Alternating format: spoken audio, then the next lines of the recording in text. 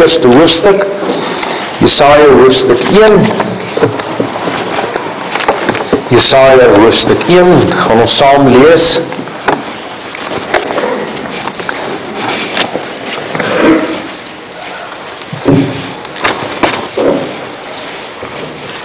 Ons lees eh, Jesaja hoofstuk 1 daar vanaf vers 1.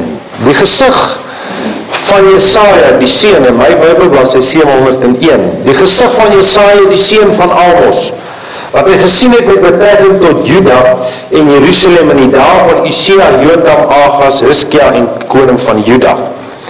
Hoor o hemele en luister o aarde, want die Here spreek Ek het kinders groot gemaak en verhoog, maar hulle teen oortree. Maar ons ken sy besitter en 'n esel die krib van sy eienaar, maar Israel het geen kennis nie. My volk verstaan nie.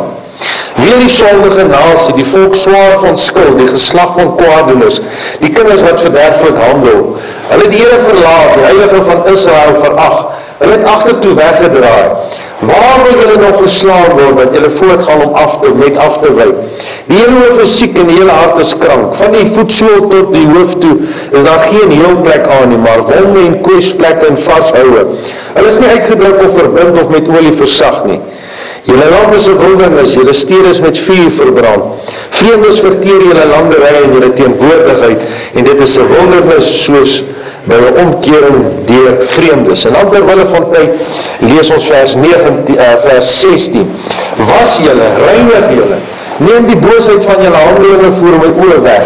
Hou op om kwaad te doen, leer om goed te doen, soek die reg, beteer die verdrukker, doen reg aan die wees, verdedig die saak van die weduwees. Kom nou laat ons die saak uitmaak sê die Here. Al was julle sonde soos Ja, so sneeu, as skarlate, dit sal dit word so sneeu. Al was dit rooi soos purper, dit sal word soos wol.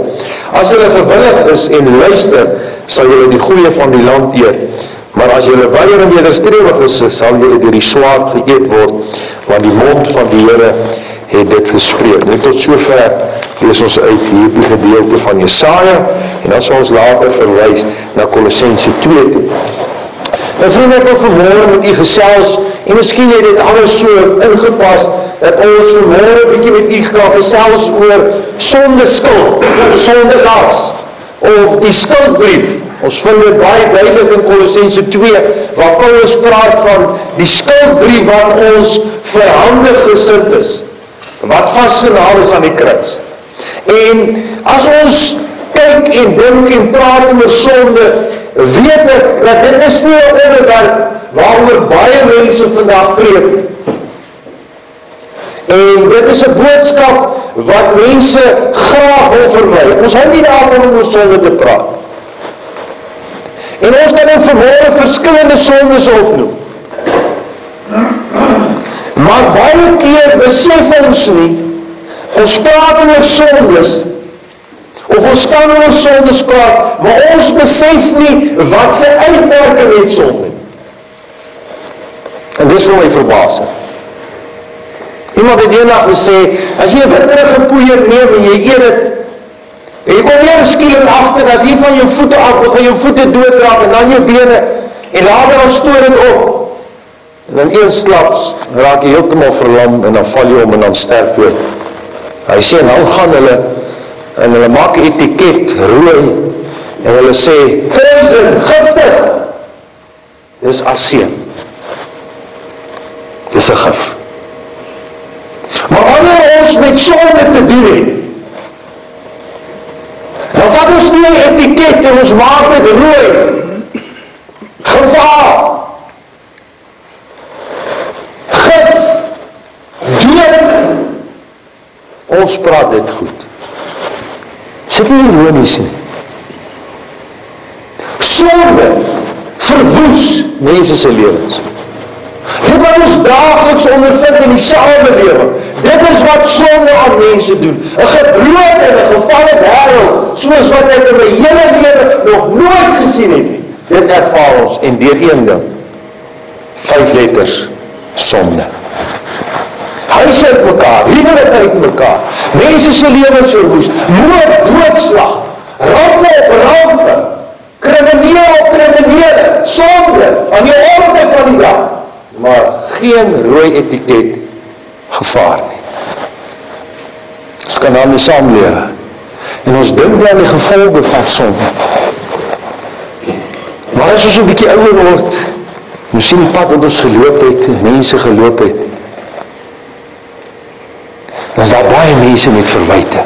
En Jesaja kom by 'n plek en hy gee vir ons Hy wil net die sondes by die naam vir ons kan dit doen vanmôre, maar gaan dit nie vanmôre doen nie. Ons gaan vanmôre na bring kyk wat Jesaja kyk. En soos Jesaja aangegaan het, sê dat sonde het sekere eienskappe, is eienskappe, sekere kenmerke, sekere gevolge. Hierdie skuldbrief wat ons vyhandig gesit is, het sekere eienskappe wat jy met jou maak. Sonde het 'n sekere uitwerking. Jy kan kyk met hom. Hy het hierdie noodwendige uitwerking op mense se lewens.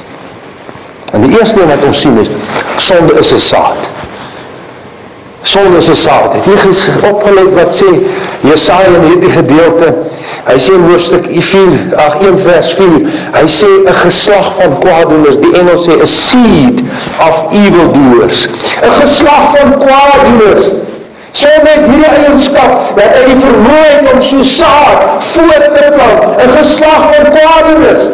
En ek kan vanmôre maar hierdie paar notas neem en dit neerskryf en as jy eendag met iemand praat oor sonde, kan jy vir hom sê dis die noodwendige gevolg van sonde. Jy kan maak wat jy wil. Sonde is soos 'n saad. As jy begin met een sonde, dan vermeerder dit. My ma het altyd vir ons gesê, "My kinders luister. Sonde baar sonde. Sonde bring sonde voort." Dan maak wat jy wil. Sonde soos 'n saad, 'n geslag van klaagkwaadloos. Die een geslag na die ander geslag staan op en hulle doen sonde en hy plant eenvoudig voort. Uit die een huis se sin, uit die een familie soos wat ons aangaan, word hy voortgeplant en voortgeplant en voortgeplant tot 'n volgende geslag. En weet jy wat ek nou vanmôre het ek daar gedink, as 'n mens dink aan hierdie geslag van kwaaddoeners, wil ek graag vir u net uh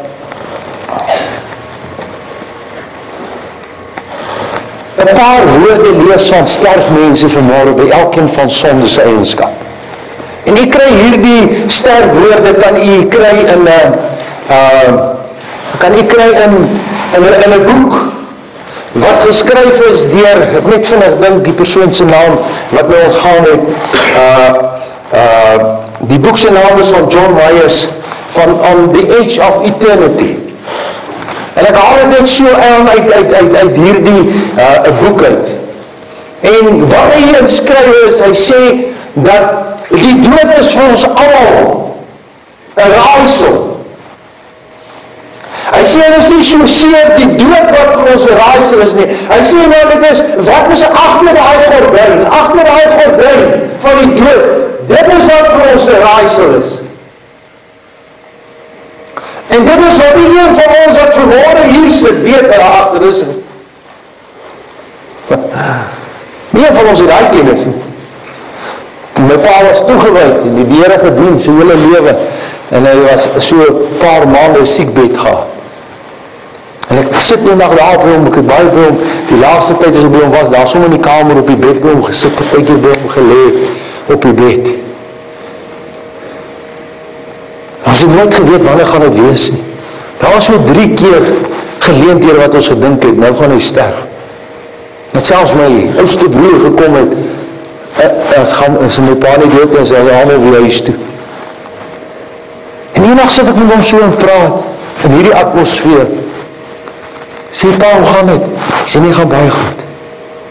Hy sê maar my seun, daar's een ding. Ek weet nie Hoe is dit daar nie want ek was nog nie deur daai poort. En nog nie een van ons is daai deur daai poort. Ons weet nog nie. En dis die raaisel. Maar as jy die skrif van ons te sê wat daar gebeur het daar deel van. En hoe ons geleef het.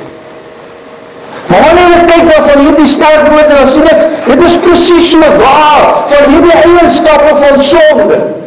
Die eerste is soos 'n saad, dit vermeerder. Dit gaan net aan en aan en en dit leef toe dit vermeerdervuldig. Kyk wat sê hierdie persoon. 'n Jong man was 'n bose en sondige lewe gelei het, het by misdaad betrokke geraak en die tronk geëindig. Sy gesondheid is deur alkohol vernietig. Sy moeder het hom kort voor sy dood in die tronk sy hospitaal besoek. Hy het uitgeroep: "Dit is te laat. Dit is te laat." Ek doen vir jou die enigste guns wat ek ooit gedoen het, sê hy vir sy moeder. Want ek sterf nou, dan hoef jy nie meer oor my jou hart te breek nie. Dit was nie jou skuld nie. Dit was die vervloekte drank wat my lewe verwoes het en my hier uitgebring het. Nou is ek aan moord skuldig. Wat? Dit was dan die drank, nou is dit moord. Maar ek sal die familie die verleentheid van 'n teregstelling spaar. Daar laat hy sy kop neergelê en gesterf. Dit is te laat. Dit is te laat. Sonder neem toe. Hy stop nie. Hy stop nie met een daad nie. Ek doen nie net 'n enkele daad nie. Ek het jouself sê, ek gaan nie die een daad doen, ek gaan nie die een sonde doen. Nou is dit klaar. Sonde doen nie dit nie. Sonder die vermoë om net weer een gekry, weer een te kry, weer een te kry, weer een te kry.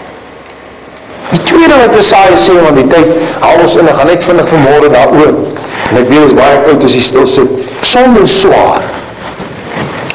Daar's 'n groot verskil as met nooit verstaan. Sonde is lekker, maar sonde is swaar.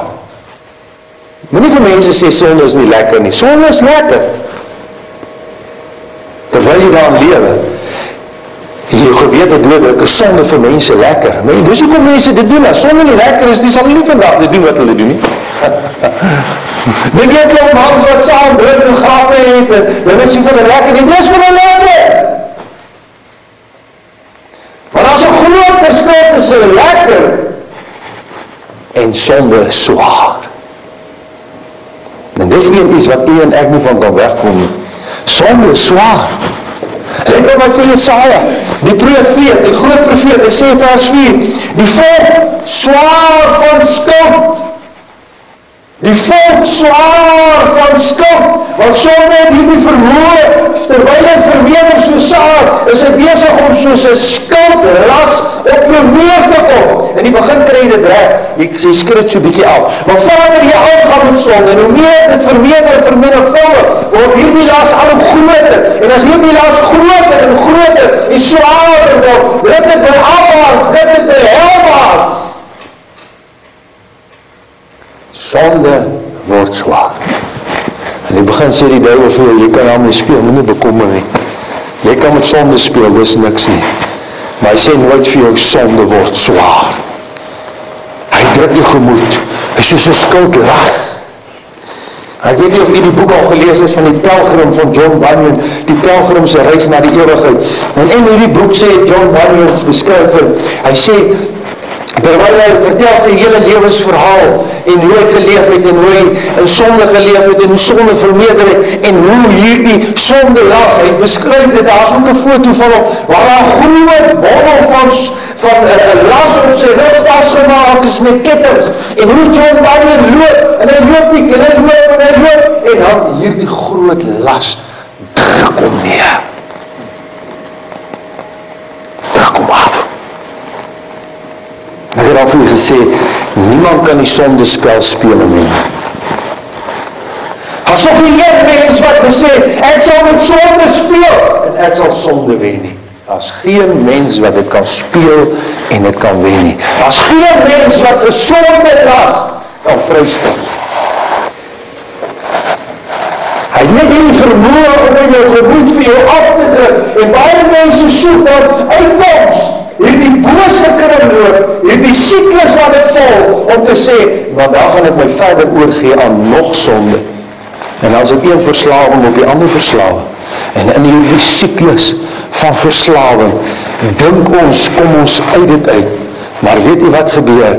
Eindelijk word het net al groter en groter, dat jy uiteindig eindig, waar hy sê, ek spaar jylle verleendheid, laat ek sterf, 'n teregstelling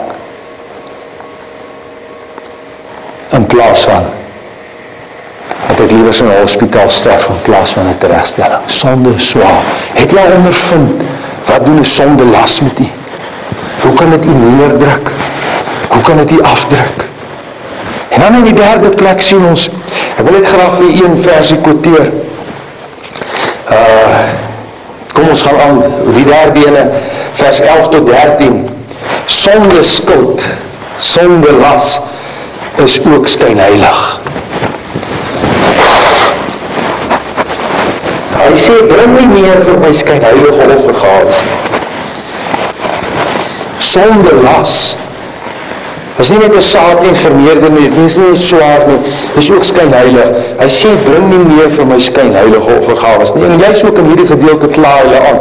Hy sê julle het gesonde diere wat julle kan offer, dan offer julle gebrekkige diere. Maar wat jy doen is julle offer Maar hier is die verskriklike ramp wat 'n mens kan tref, dat jy met geestelike dinge kan besig wees, met godsdienst kan besig wees. Jy kan self in die evangelie besig wees. Jy kan self op staan in jou lewe bekering geken het, met ervaring en in jou geestelike lewe kan jy voortstroppel met godsdienst. Maar dit is skyn. Die groot profeet Jesaja sê vir geïnspireerd met die Gees van God, hy sê bring nie meer vir my skyn heilige offers nie.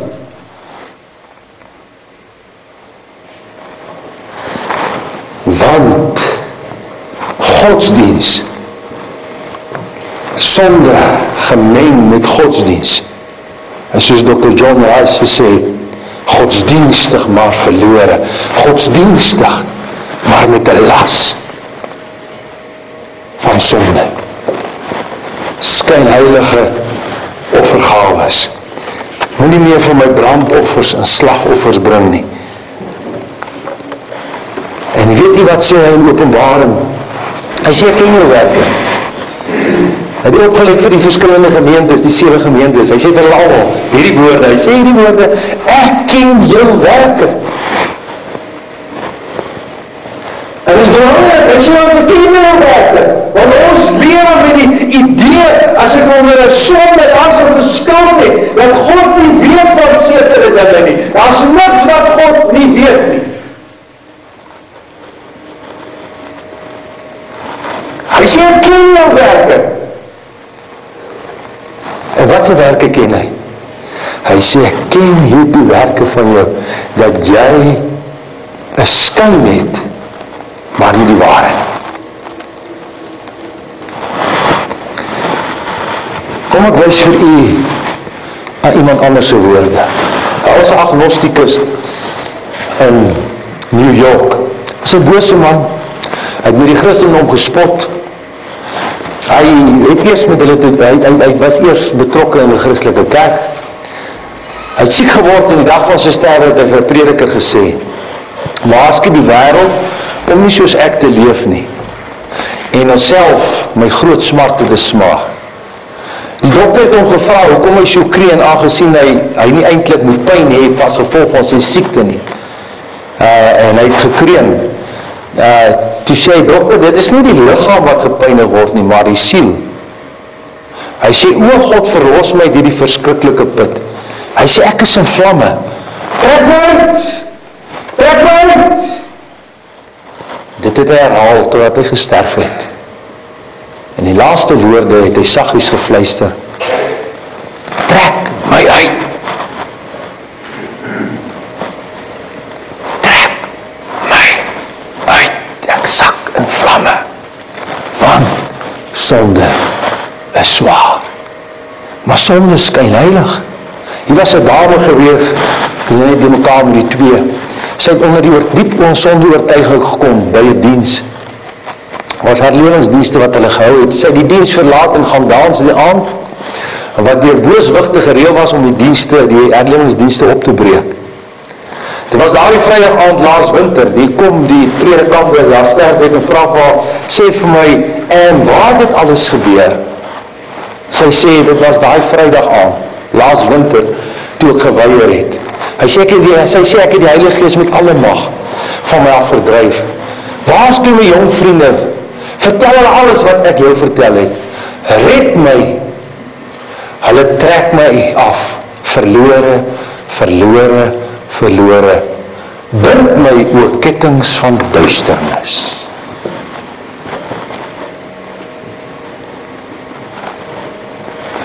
Daar was die tye toe gesit het in dienste soos hierdie evangelie gepreek het. Ag, ons dink is grappies.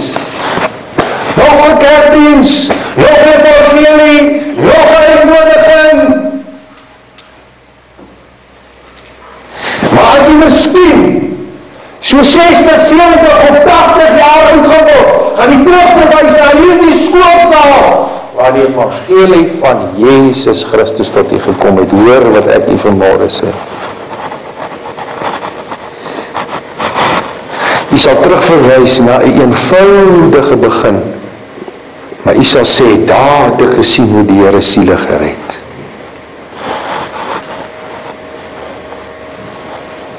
Maar ek was ook in die diens. Ek het dit ook alles al gehoor, maar ek het eintlik nie veel daaroor gedoen nie.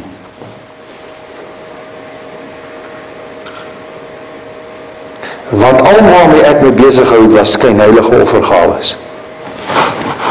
Ja, mooi, pragtig, alles reg, goed. Hier bietjie gekritiseer, daar bietjie positief, bietjie dit, bietjie dit. Nou gaan ek dit net my verskoon my uitdrukking my pause hou. Maar het u, luister vanmôre, het u al waaragtig met God ontmoet? Het u? Het u? Ons sal nie moontlik eendag moet sê, red my, Here, trek my af, verloor, verloor, verloor. Want my oorkettings van duisternis. Sonde is nie net 'n saad nie, sonde is nie net skynheilig nie. Sonde is nie net swaar nie, maar sonde is ook strydig. Vers 3 sê: "My volk verstaan nie Daar's niks wat so slim is so sonde stil nie. Jy kan met hom praat, jy kan met so persoon praat. Hy luister nie. Niks wil hy na aandag gee wat sin maak nie. Hy stry my volk verstaan. Het jy nou met iemand gepraat wat vasgevang is? Ag, en baie goed. Jy kan iemand praat wat vasgevang is in in een of ander verslawing. Dit kan rook wees, kan drank wees, kan dwelms wees. Dit kan wees in 'n verhouding. Jy kan praat met hulle so, dis soos hulle wil. Baie mense wat ander mense beander, wat gees wat wat wat evangelisasie werk wat die mense met die kry. Die eerste wat hulle vir my kom sê is, "Maar hulle het soveel baie slim antwoorde vir elke ding het hulle 'n antwoord." Hoekom? Want sonde skuld stry, hy slim. Hy hier in sy beter wete, sonder skuld het hierdie las, het hierdie eienskap, het hy op eie bou redeneer. Hy probeer vir alles antwoord kry, probeer vir alles 'n oplossing kry. en dan kan jy vir iemand sê, kyk waar is jou pad? Ek sê nou net vir iemand, ek sê, kyk waar vat hierdie sonde jou? Ek sê weet jy wat, jy het nou alles verloor, jy het jou vrou verloor, jy het jou kinders verloor, jy het jou huis verloor, jy het jou geld verloor. Jy het eintlik niks. Ek sê jy hoekom? Sonde. Ja, maar dit is nie verkeerd nie. Ek pla niemand nie. As ek my dop vat, pla niemand nie. Ek sê by my huis, nee, ek gaan nie na iemand toe. Doen niks nie. Ek pla niemand nie. Ek sê by my huis, ek doen niks nie. Sien hoe skrye. Sien hoe slim is dit. Ek plan niemand. Ek is die mens. Sonde stry teen sy beter wete. Spreuke 1 vers 7 sê: "Sonde verag wysheid en tug." Sonde skuld is slegte oordeel en roekelose dwaasheid. Die verlore seun het vir my gesê: "Gee vir my wat my toekom. Dat ek nou gaan en ek kan geniet." En die troon wat het ook gebeur daar in ver in die pad. Toe het hy homself gekom, die Here sê, ek het sy verstand gekom. Dis kom 'n keer, letterlik en griefes, 'n verandering op 180 grade draai in my verstand. Ek kom op myself, ek kom op die werklikheid. Het jy opgelet wat het met die besekenis van Gadara gebeur? En daardie verhaal In Lukas 8 vers 35 terwyl hy aan die voete van Jesus sit nadat die Here Jesus hom bevry het bekleed by sy volle verstand dan vat die Here al daai slim argumente van ons weg en ons kry 'n bietjie sin en perspektief en in in rigting in ons lewe by ons volle verstand. Het jy gesien wat sê Efesiërs 4 vers 18? Mense wat verduister is in die verstand en vervreem van die lewe van God. Dit is hierdie sonde wat stryd teen sy beter wete. Oliver Cromwell het gesê, die duiwel probeer om almal te mislei. En hierdie groot man sê op sy sterfbed, ek is een van hulle. Ek is mislei. Met al my slimme redenasies, met al my kennis. En wat het die vrou voorsitter van die Britse hoorhuis gesê? Hy sê ek het my hele lewe gedink en geglo as geen hemel en geen hel nie. En nou op my sterfbed besef ek daar is albei. En toe voeg hy die woorde by. En ek is verlore. Ek was slim geweest. Ek het my slim gehou. Want sonde is strydig. En nou die vyfde is sonde skuld is ook tergend. Dit beteken sonde in vers 4 sê die heilige van Israel het hulle verag. Die Afrikaans kan u so 'n bietjie mislei want die Engels beteken they have provoked the holy one of Israel. Hulle die heilige van Israel het hulle gedag. Dis wat verag eintlik beteken. En daarom praat die Bybel en jy moet onthou Jesaja is die boek van heiligheid want in die sterfjaar van die soos in hoofstuk 1 vers 1 begin in die sterfjaar van koning Jesaja die jaar toe koning Jesaja gesterf het en daai jaar het Jesaja die Here gesien sit op 'n hoë verhewe toer en hy sê so wat die Bybel gevoel het sê hoofstuk 6 En hy sê al gesien met twee die hand is op te bedek, twee voete, twee met gevlieg. Wat 'n wonderlike heerlike wese is hierdie nie wonder hoe lyk hierdie seer af. En hulle roep mekaar, die een die ander een, heilig, heilig, heilig. En toe beheer die drempelposte van die geroep van die roepers. Saul val soos 'n dooie. Hy sê, "Wie, my ek is verlore en ek is onrein." Nou sê hierdie selfe Jesaja. Hy ken die heiligheid van God. Hy het gesien toe die Jesaja se mekaar toe roep. Hy sê, dis hoekom hy die woorde gebruik, they have provoked the holy one. dis hoekom hy dit bysit. Heilige, heilige van Israel het hulle gedag. Hulle het hom gedart. En weet jy wat doen sonde? Sonde berg God. Soms is hulle ware rieke uitdaging van die heilige God.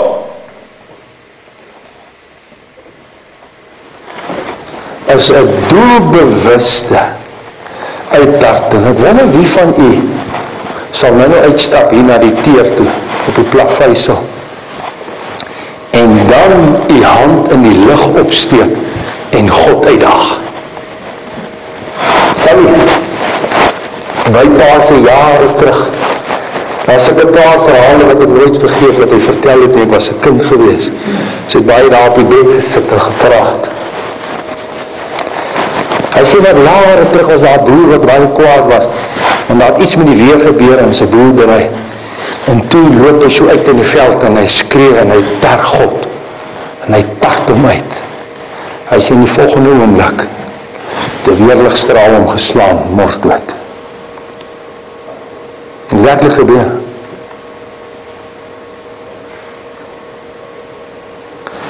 Ek wonder wie van ons sal uitloop hier buite en openlik ons vuisbal in God uittart voor almal.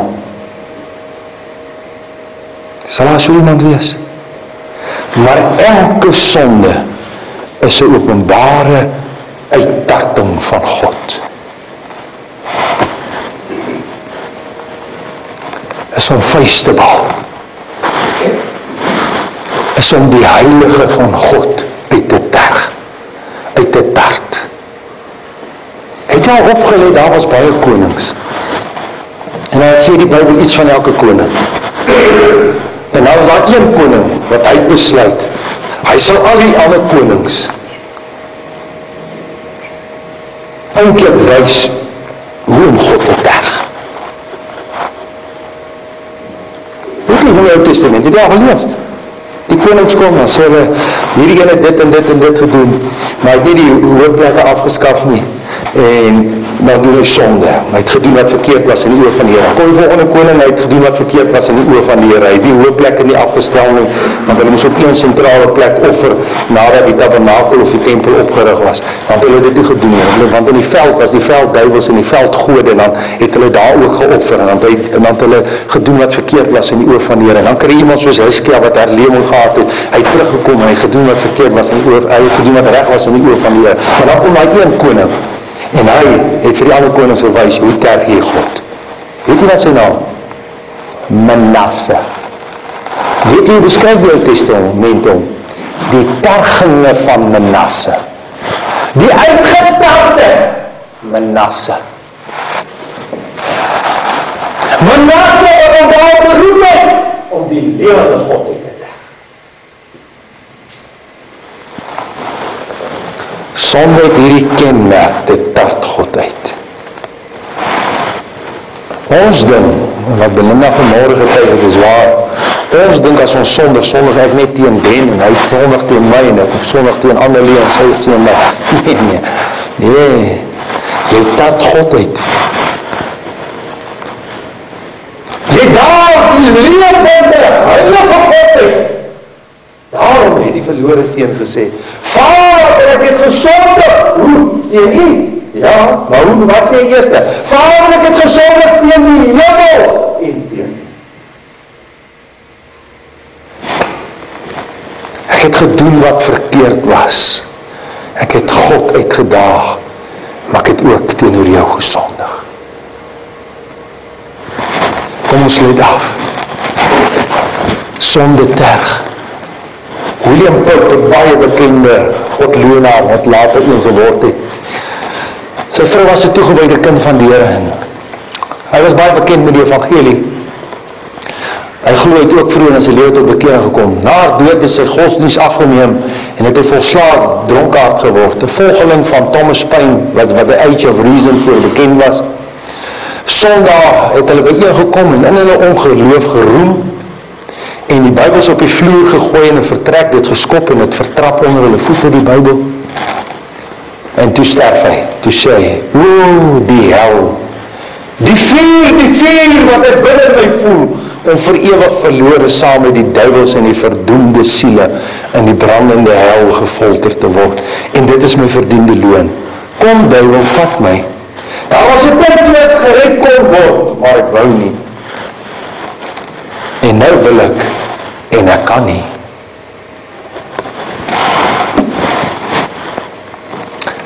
Daar is 'n punt wat ek gered wil word. Toe wil ek nie. Kon word, maar toe wil ek nie. Nou wil ek, maar ek kan nie.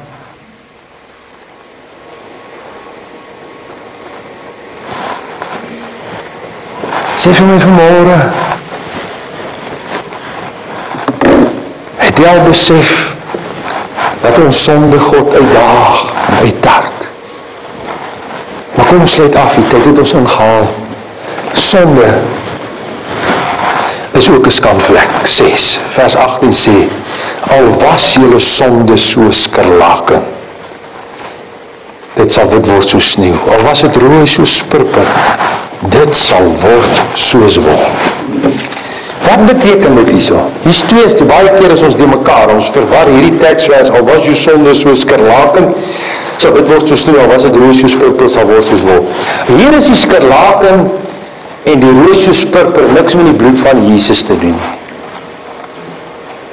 Dis waar mense die mekaar is. Hier soos wat skarlaken Al was die son so skerlaken helder rooi, al was dit so spurter donker rooi, twee rooi aan mekaar ingebeet, dubbel gekleur, 'n verskriklike vlek, soos wat jy 'n vlek op 'n helder wit hemp of 'n broek kry. Wat rooi is met bloed gevlek en jy kry dit nie uit nie. Is beteken dit eintlik hierso twee rooi kleure twee tipes rooi klere in mekaar ingeweef. Is 'n verskriklike skampvlek.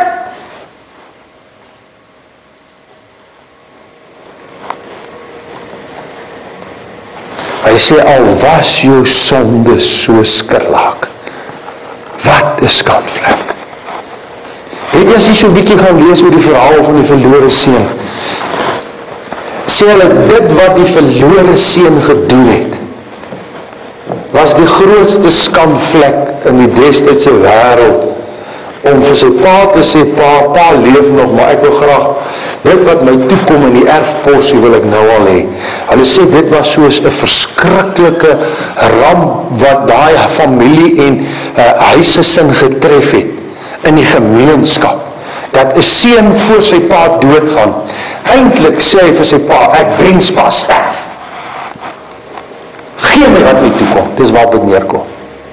Ek wens pa dood. En hierdie gerug het in die gemeenskap versprei. Jan se oudste sê se seun, die mense sê die Jan se seun het opgehuis en gesê, ek wens my pa sterf, sodat ek my voet kan kry en kan vat en loop. En hierdie skamvlek is in die gemeenskap versprei. En hy het sy goed gevat en gegaan. Nou sonde kan een ek nou maak wat ons wil, hy die vermoë om soos 'n vlek, 'n skamvlek teen jou toe kom. Hy is nie net 'n saad wat versprei nie. Is u wat vanmôre hier is wat jonk is.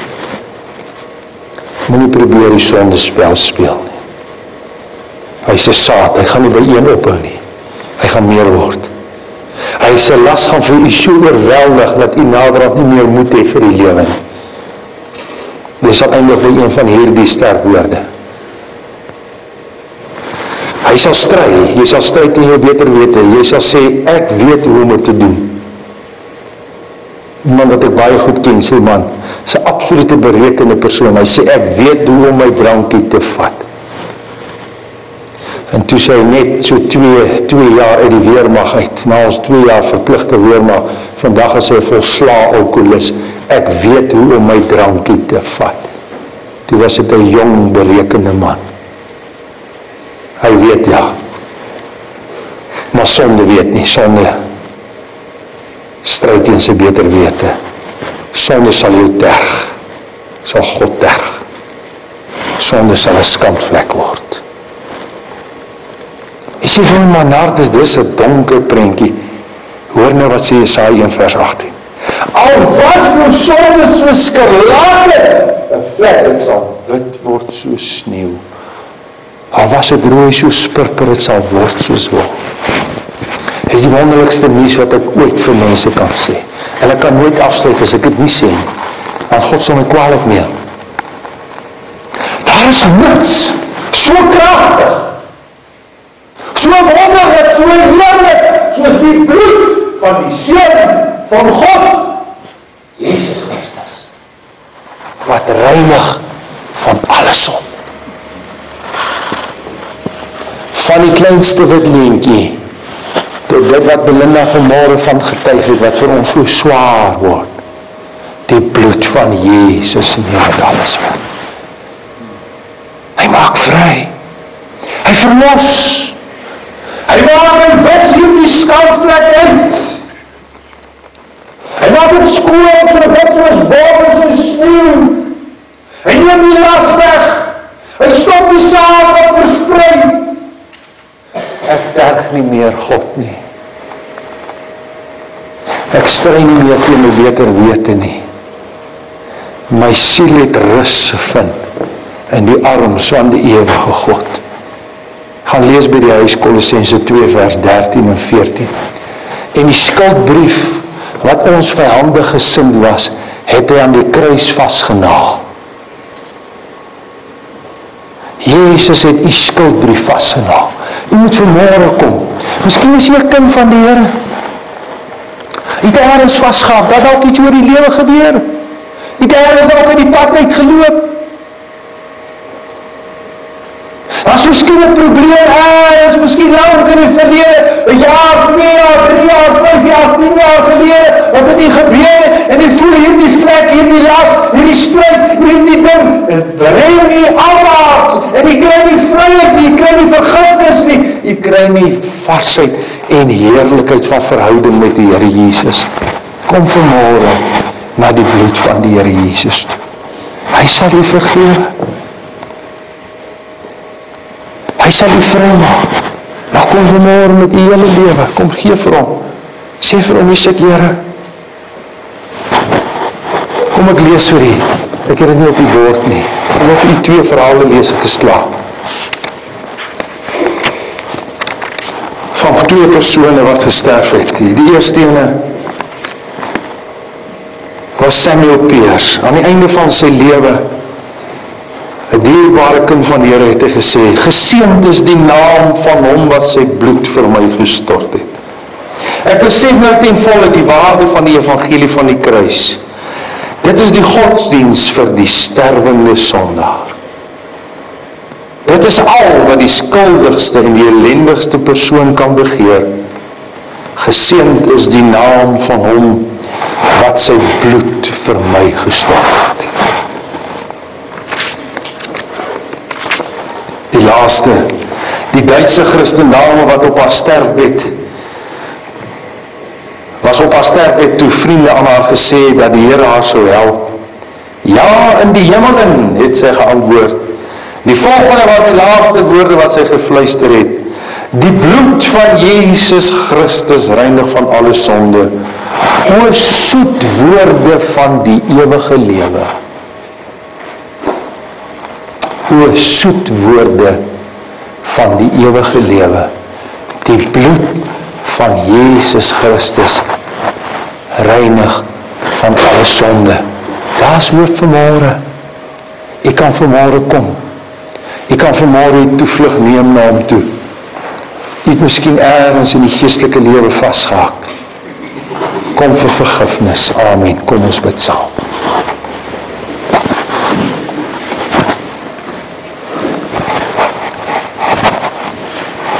wonderlike Here Jesus. Baie dankie dat ons vanmôre 'n voorreg het om hierdie soetste naam oor ons lippe te kan neem.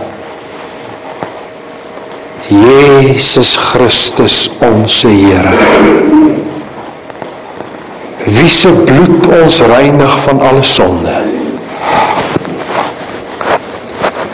Help ons tog vanmôre om die krag van u bloed in ons lewens te ervaar.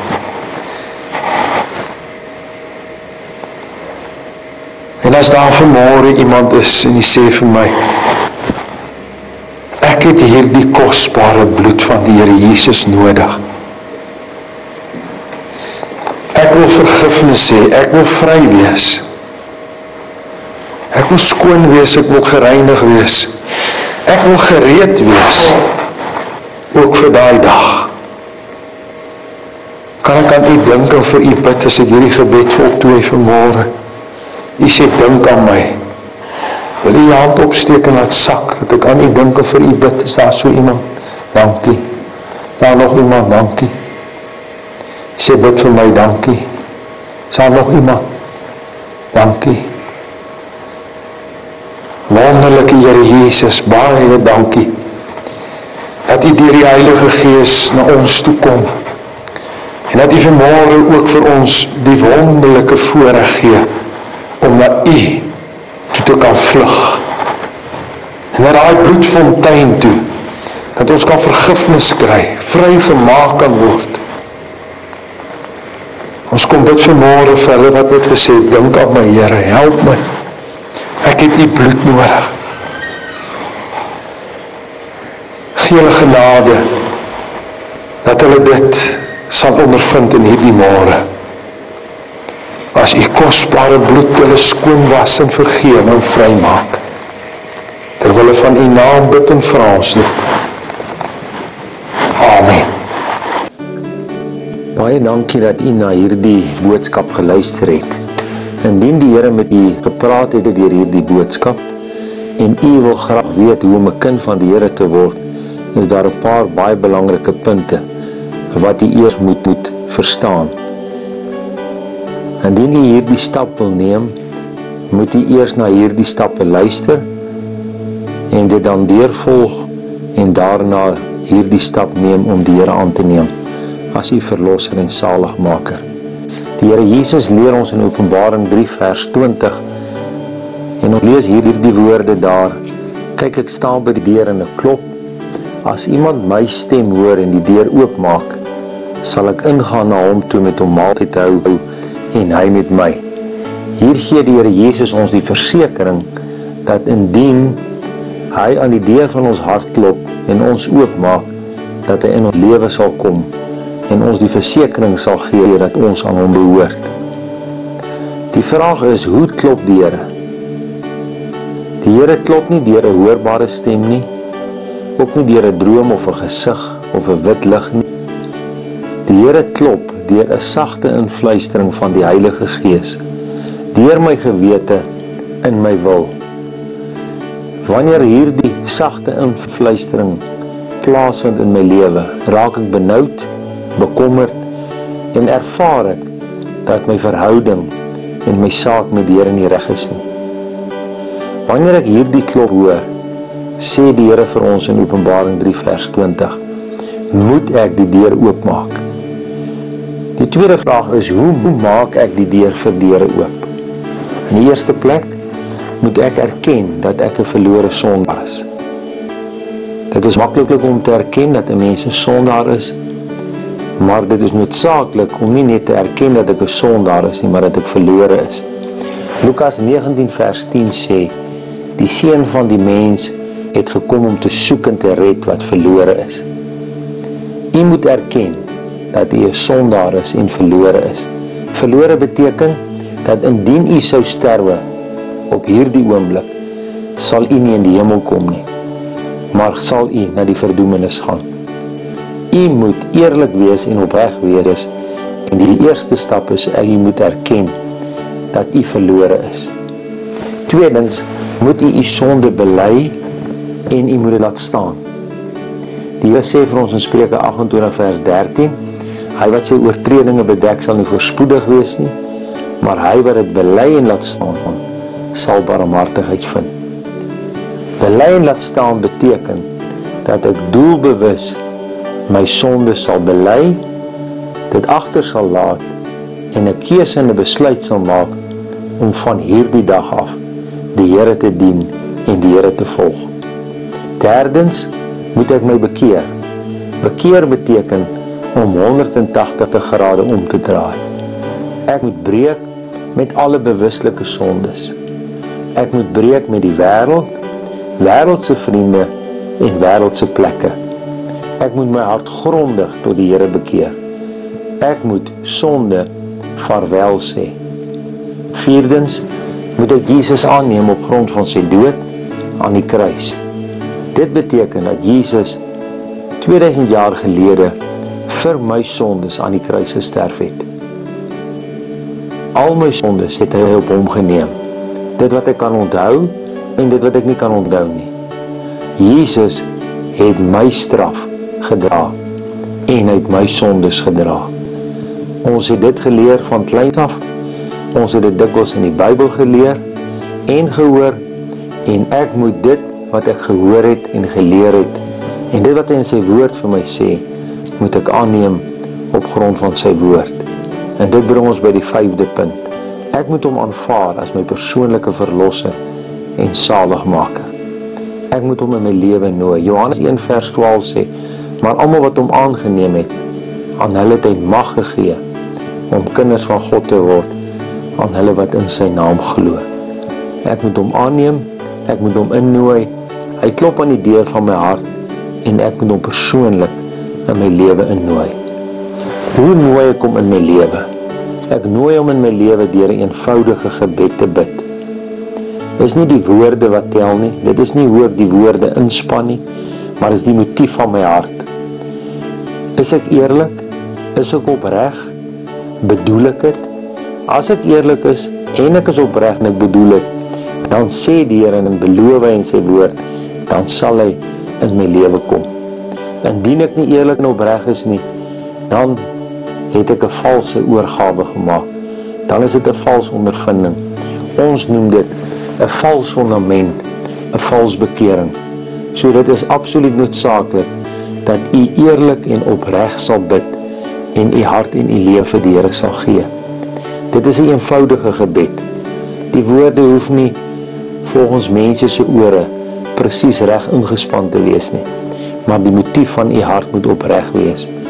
U vra die vraag: Wat bid ek? U kan hierdie gebed saam met my bid indien u dit bedoel en die Here in u hart se deur geklop het en u die deur vir hom wil oopmaak. U kan as volg bid: Here, ek erken ek is 'n sondaar. Ek erken ek is verlore. Ek kom in hierdie oomblik na u toe en kom erken dat ek sonder u geen hoop het op ewige lewe nie. Ek bid en vra u dat u al my sondes sal wegwas, my sal reinig, my sal vergewe En terwyl U aan die deur van my hart klop, maak ek vir U oop en nooi U persoonlik in my lewe as my verlosser en saligmaker. Dankie dat U aan die kruis vir my sondes gesterf het. Ek kom in hierdie oomblik en nooi U persoonlik in my lewe as my verlosser en as my redder. Dankie dat U dat U dit doen. Ek bid dit in Jesus Christus se naam. Amen. Wanneer 'n mens die Here Jesus aanneem as jou verlosser en saligmaker, dan doen 'n mens dit op grond van geloof en deur geloof op grond van sy woord. Die Bybel leer ons dat God nie kan lieg nie. En as hy in Openbaring 3 vers 20 sê, ek staan by die deur en ek klop, en as iemand my stem hoor en die deur oopmaak, dan kan God nie lieg nie. As ek die die deur oopmaak, sal hy in my lewe inkom. Ek neem nie die Here aan op grond van emosie of gevoel nie. Gevoel kan verander van die een dag na die ander. Geloof bly dieselfde. Die Bybel leer ons baie duidelik, hy wat tot God gaan moet glo dat hy is en 'n beloner is van die wat hom soek. Ek kan dit vir u illustreer. In 'n mens se tuin is daar 'n visdammetjie. In die visdammetjie is 'n klip. En ek steek my hand in hierdie visdammetjie om hierdie klip uit die visdammetjie uit te haal. As ek hierdie klip uithaal, waar gaan die water wat in die dammetjie is? Dit vul daardie plek waar die klip is. Wat is hierdie klip? Hierdie klip is my kliphart van sondes. En soos ek gebid het en wanneer ek gebid het, is dit soos wanneer ek my hand in hierdie dammetjie insteek en hierdie klip uithaal. Die bloed van die Here Jesus reinig my van al my sondes. Hy neem my kliphart van sondes weg. En die water gaan in die plek van die klip. Hoe lank vat dit vir die water om in die plek van die klip te gaan? Dadelik, oombliklik. So werk geloof. Hoe lank vat dit vir die Here om in my lewe te kom? Oombliklik, dadelik. Die oomblik as ek my hart en my lewe vir hom gee en ek was opreg, dan vergee hy my die versekering dat hy in my lewe kom. Ek hoef nie vir hom te sê doen dit nou nou Here en weer 'n keer te bid sê doen dit nou Here. Ek moet hom glo. God kan nie lieg nie. Hy hy is nie 'n mens of 'n mensekind dat hy iets sal sê en dit nie doen nie. Dis neem ek deur Jesus aan deur geloof op grond van sy woord.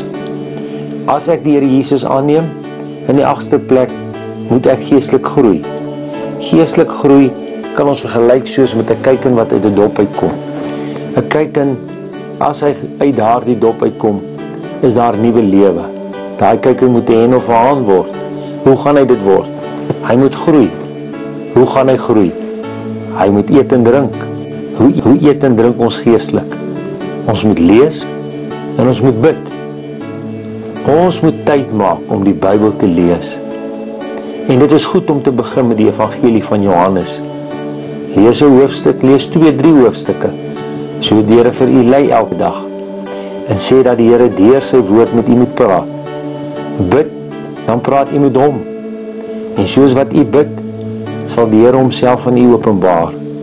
Derdens, om geestelik te groei, moet ek getuig. Romeine 10 vers 9 en 10 sê: Met die hart glo ons tot geregtigheid, met die mond bely ons ons tot redding. As u die Here Jesus nou aangeneem het, moet u so gou as moontlik met die persoon naaste aan u en teenoor so 'n persoon moet u getuig en hom of haar vertel dat die Here Jesus in u lewe is dat u u lewe vir hom gegee het u glo dit nou met u hart maar u moet dit ook bely met u mond. En dan soos wat 'n mens geestelik vorder moet 'n mens versigtig wandel. 'n mens moet waak en bid. En dit is moontlik dat wanneer 'n mens nie waak en bid nie 'n mens kan struikel. 1 Johannes 2 vers 1 sê my kinders Ek skryf hierdie ding aan julle dat julle nie moet sondig nie. Maar as julle gesondig het, julle te voorspraak by die Vader, Jesus Christus die regverdige. Hy is 'n verzoening vir ons sondes. Ons as kinders van die Here, maar ook nie net vir ons nie, maar maar ook vir die sondes van die hele wêreld. As ek eers gestruikel het, nadat ek die Here aangeneem het, moet ek oombliklik dit regmaak. Ek moet dit bely. Ek moet dit laat staan en ek moet geestelik verder groei en vorder en toeneem in die genade en kennis van die Here Jesus Christus. Verder om geestelik te groei, moet ek ook moontlik restituisie doen. Dit beteken om iets te gaan regmaak waarvan die Here my oortuig om dit reg te maak. Saggees het gesê, as ek van iemand afgepers het, sal ek dit vierdubbel teruggee. En as dit moontlik is dat u teenoor iemand anders 'n saak moet gaan regmaak, dan moet u dit gaan doen. En die vrede en die sekerheid van die Here sal in u hart kom. Bid vir bevestiging. Soos wat u stilte tyd hou, soos wat u bid, soos wat u Bybel lees, soos wat u wandel met die Here, vra vir die Here om deur sy gees dit wat hy in u hart vir u gedoen het, deur sy gees te bevestig. Want Romeine 8 vers 16 sê: Die Gees getuig saam met ons gees dat ons kinders van God is. Laastens word 'n sielewenner en werk van die Heer, werk vir die Here. Eerens moet u 'n sielewenner word en met siele begin praat, siele begin bearbei en eerens moet u betrokke raak in die werk van die Here. Mag die Here vir u help. Mag hy vir u seën en mag u voortgaan om hierdie keuse en besluit wat u gemaak het uit te lewe tot eer en verheerliking van sy naam. Want die Bybel leer vir ons dat hy wat die goeie werk in julle wille begin het, dit volëind sal volëindig tot op die dag van Christus. Dit is die gebed van ons hart. Mag die Here u ryklik seën.